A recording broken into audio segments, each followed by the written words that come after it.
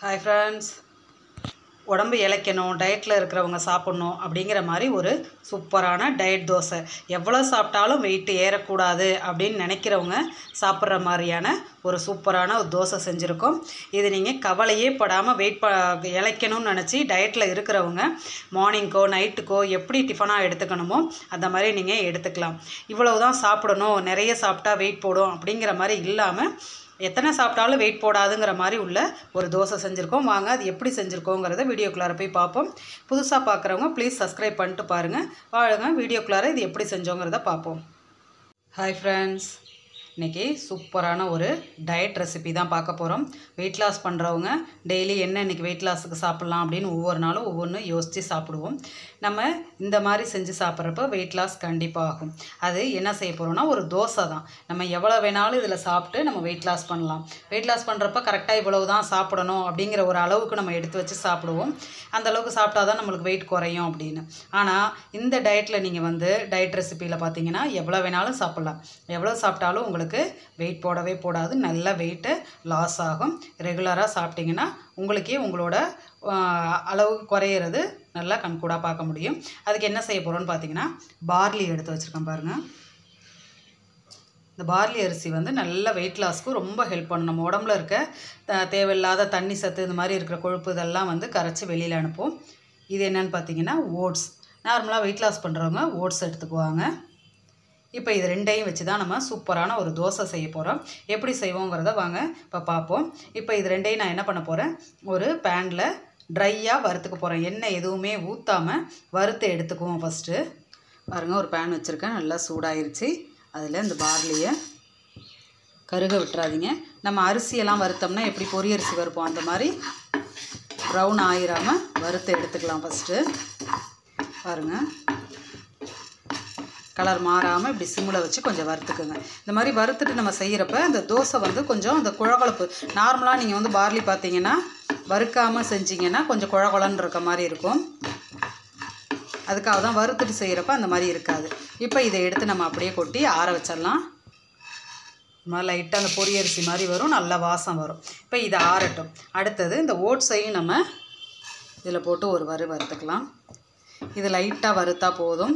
டக்குன்னு கருகி போயிடும் பார்த்து வறுத்துக்குங்க. நல்லா வறுத்தாச்சு. அந்த ஓட்ஸோட வாசம் வந்துடும் நல்லா. அதோட அடுப்பு ஆஃப் பண்ணிட்டு இதையும் ஆற வச்சுக்கலாம். ரெண்டும் நல்லா ஆறட்டும். ஆறினோன்னா அப்படியே நம்ம மிக்ஸி ஜாரில் போட்டு ஓட்டி எடுத்துக்குவோம்.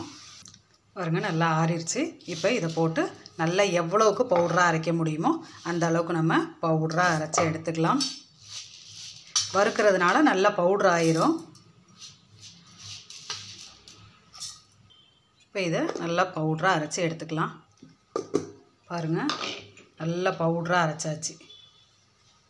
நல்லா கரெக்டாக வறுத்து எல்லாம் பண்ணிங்கன்னா பவுடராக வந்துடும் சப்போஸ் உங்களுக்கு கொஞ்சம் குருணை குருணையாக இருக்குன்னு நினச்சிங்கன்னா சளிச்சிட்டு திரும்ப போட்டு நீங்கள் அரைச்சிக்கோங்க.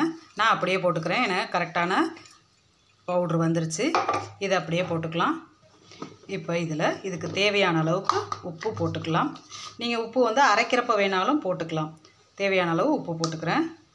இப்போ அடுத்து இதில் ஒரே ஒரு ஸ்பூன் நான் வந்து கோதுமை மாவு போட்டுக்க போகிறேன். அந்த சும்மா அந்த தோசை பைண்டிங் வரணுங்கிறதுக்காக.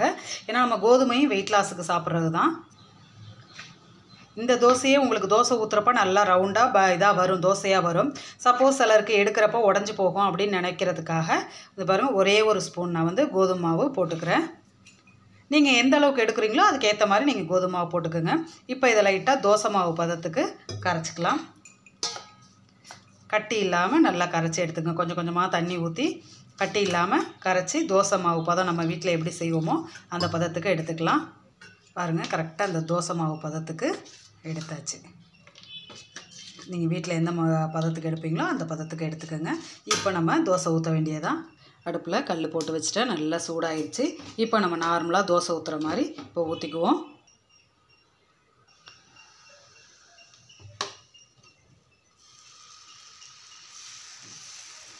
நீங்கள் சூப்பராக எப்படி ஊற்றுனீங்கனாலும் வரும் மொத்தமாக ஊற்றுறனாலும் ஊற்றிக்குங்க நைஸாக ஊற்றணுன்னாலும் ஊற்றிக்குங்க சுற்றி லைட்டாக எண்ணெய் ஊற்றிக்கலாம் நிறைய ஊற்ற வேண்டாம் லைட்டாக ஊற்றிக்கலாம் பாருங்கள் சூப்பராக ஒட்டாமல் அப்படியே வரும்.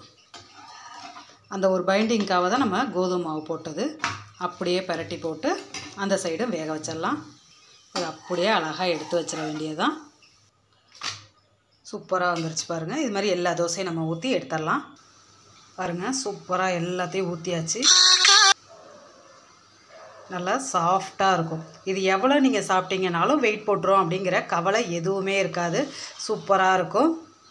நீங்கள் கவலைப்படாமல் இதை சாப்பிடலாம். மார்னிங்க்கோ ஈவினிங்க்கோ நைட்டுக்கு எதுக்கு வேணாலும் டிஃபனுக்கு நீங்கள் இதை எடுத்துக்கலாம். சூப்பரான தோசை ரெடி ஆகிருச்சு இந்த வீடியோ உங்களுக்கு பிடிச்சிருந்துச்சுன்னா லைக் பண்ணுங்கள் ஷேர் பண்ணுங்கள் கமெண்ட் பண்ணுங்கள் சப்ஸ்கிரைப் பண்ணுங்கள் பக்கத்தில் இருக்க ஆளுங்கிற பட்டனையும் தொடுங்க. அப்போ தான் நான் போடுற வீடியோ உங்களுக்கு நோட்டிஃபிகேஷனில் வரும். நீங்களும் விருப்பப்படுறதை பார்க்கலாம். தேங்க்யூ